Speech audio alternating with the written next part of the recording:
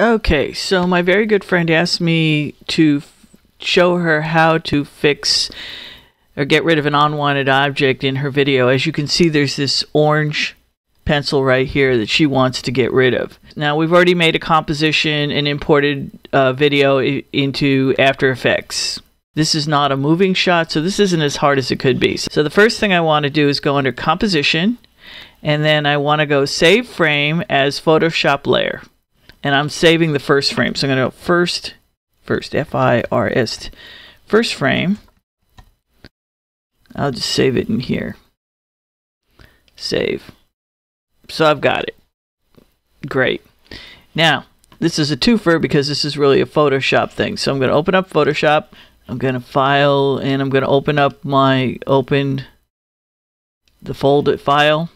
So all I got to do is go into that, find my picture.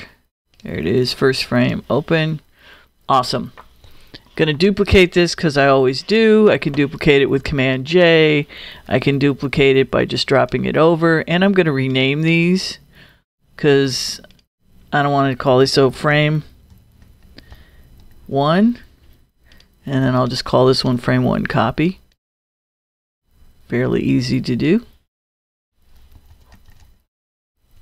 Okay, so what I'm going to do, I'm going to come over here, grab the patch tool, and with the patch tool selected, I'm going to draw around my pencil. I'm going to move it over here,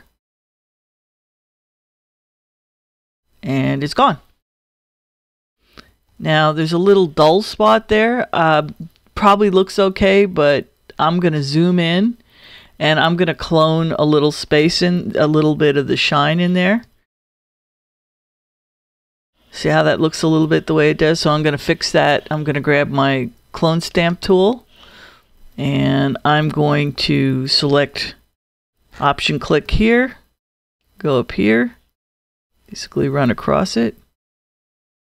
And then uh, that's pretty good. So that looks really good. If I don't like the sheen, I can come up here and there you go. Perfect. Zoom back out.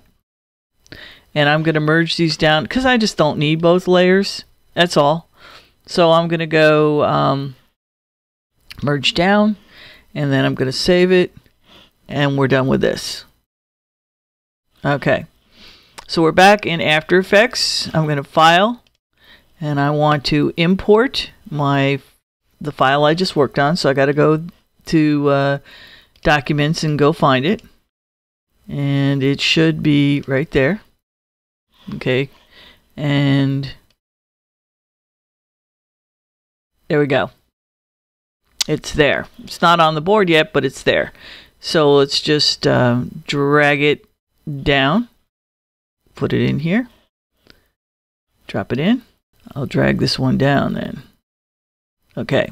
Now, as soon as I drag that down, I drag the top layer down over, it's gone, except for if I play it, Should I say I'm proud to say? nothing happens. So we don't want that. We need to do a couple things. So let's first make this long enough to cover the entire clip.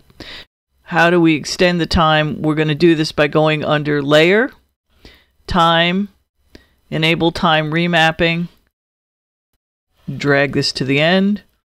I'll delete the keyframe because I don't need it. There we go. Still, it's not working right, but we're close. We got one more thing to do, and that is to make sure that this has um, a, a mask on it. So I need to go to transform, and I want to just be able to see this, so I'm going to just delete, you know, bring the opacity down. That's it. Opacity's down. Go grab the pen tool, click around the pen. There's my mask. Okay. I can bring the opacity back up to 100. Now when we play it, Should I say we're pr- I'm proud to say that we're now McFade or just so back to video. And all you have to do at this point is go ahead and go file export, send it to your encoder, encode it the way you want, and you're done.